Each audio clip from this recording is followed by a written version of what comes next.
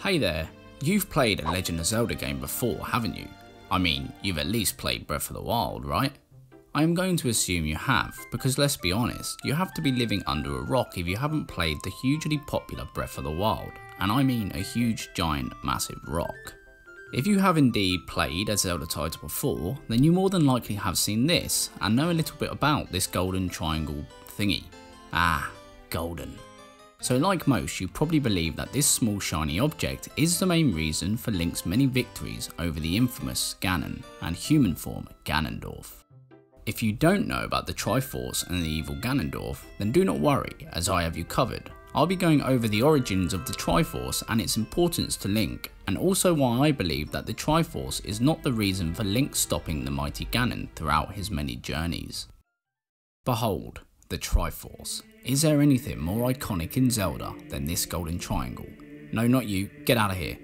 So, the Triforce, also known as the Ultimate Power, a sacred golden relic, a powerful relic created by the three golden goddesses Din, the goddess of power, Nayru, the goddess of wisdom, and Farore, the goddess of courage. These are the chief gods and creators of the realm that becomes the kingdom of Hyrule. When they were finished with the creation of Hyrule, a goddess known as Hylia was tasked with the protection of the newly created world and the protection of the powerful golden relic. After Hylia ceased to exist as a goddess, the Triforce is then left in the hands and protection of the royal family of Hyrule, the Sages and the Sheikah. The Triforce itself is consisted of three separate triangles, a piece for power, a piece for courage, and a piece for wisdom. Funnily enough, Although the gods created the relic, they are unable to use it, which makes zero sense to me. It's like inventing something, I don't know, say a Hoover, and yet you have no idea how to use it. Silly, right? But it's possible that the combined magic from all three goddesses is the very reason that makes it useless to them. I mean, it is Nintendo after all. Now it is believed that the Triforce is the ultimate source of power in the Legend of Zelda series. It somewhat serves as a kind of balance that weighs out the three forces, power, wisdom and courage. I don't know about you guys, but I know exactly what piece I would take from the Triforce. It has to be power. The sheer power that Ganondorf has while using the piece is scary.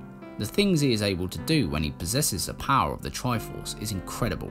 Yes, you can argue that Link has the power of courage, and it gives him the added bravery that most wouldn't have at his age, and it's also said to grant him protection from magic, which would make Ganondorf's magic pointless against him. But for the most part, Ganondorf doesn't use his magic, he engages in sword to sword combat with Link. Ganondorf is a fully grown adult, and Link is a mere child. Link possesses very little sword fighting skills, whereas Ganondorf is a warrior an evil usurper with no regret for the terrible things he has done and continues to do. He was once a leader of the Gerudo tribe, the masterful skilled female warriors that live in the rough barren desert. Ganondorf has seen more than Link, and has experienced more than Link, with some intense experience with fighting and is clearly a battle hardened warrior.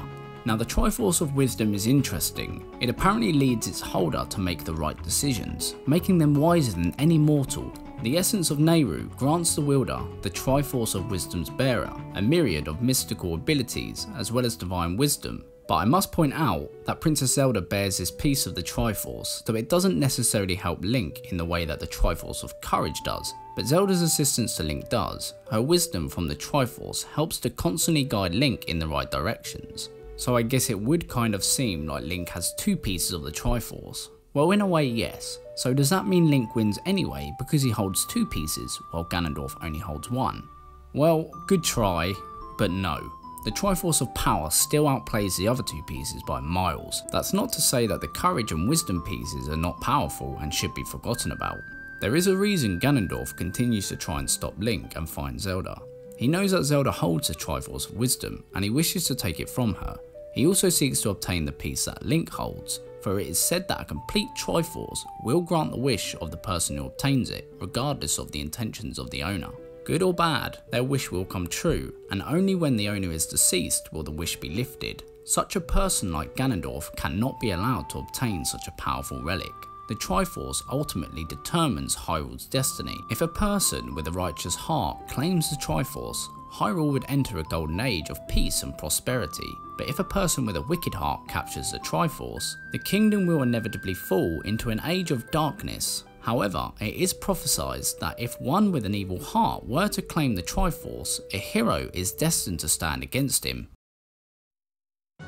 So our conclusion is that the Triforce is indeed powerful, as well as incredibly rare and clearly very important to the creation and people of Hyrule. But is it the reason for Link beating Ganon all those times? I'm not convinced.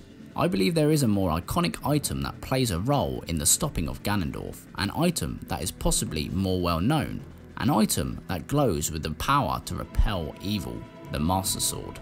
A weapon Link must obtain to stop the very evil that is Ganondorf. The very origins of the Master Sword start at the beginning of the Zelda timeline with Skyward Sword.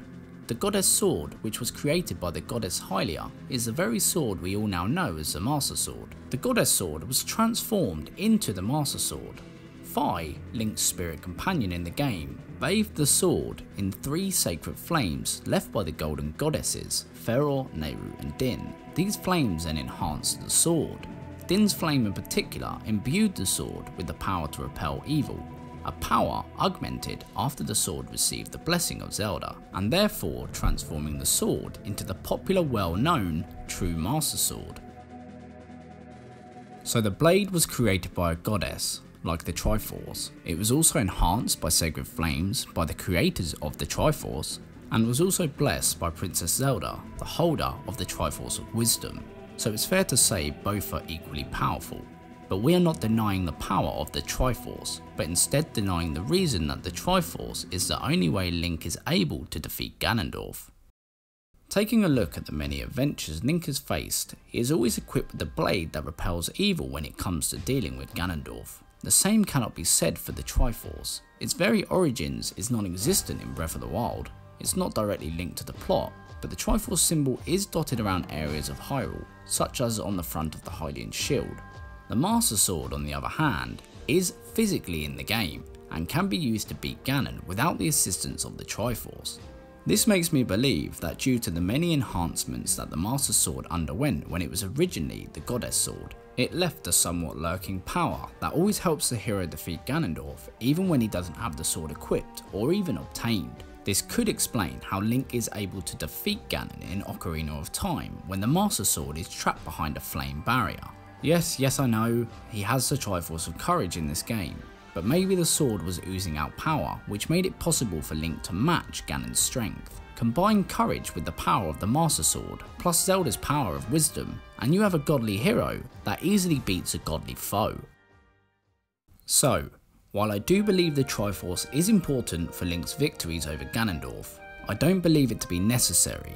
The added bravery and resistance to magic would come in handy, but the sheer power the Master Sword possesses, combined with the prophecy that a hero will rise to take on an evil-hearted person who seeks the Triforce, is enough to win. It's without question the Master Sword that truly helps Link to defeat Ganondorf. The goddess Hylia, the protector of Hyrule, created the sword for the very reason to help protect the people when she couldn't to protect the people from an evil person who seeks the Triforce. The Master Sword was literally created to match the Triforce fragment of power because courage and wisdom stand little to no chance of winning against the magnitude of raw power that the wielder will possess. So in order to combat this, an equally powerful artifact had to have been created to even out the odds. This is just my theory, do you believe the Triforce is more important than the Master Sword? If so, let me know down below. Also drop a comment about any theories that you managed to come up with. Also why not hit the subscribe button so you don't miss a future upload. If you could thumbs up the video, that would be really great. And for general chit chat, be sure to follow me over on Twitter, the link will be in the description down below. And as always, I appreciate your time and I hope you enjoyed the video.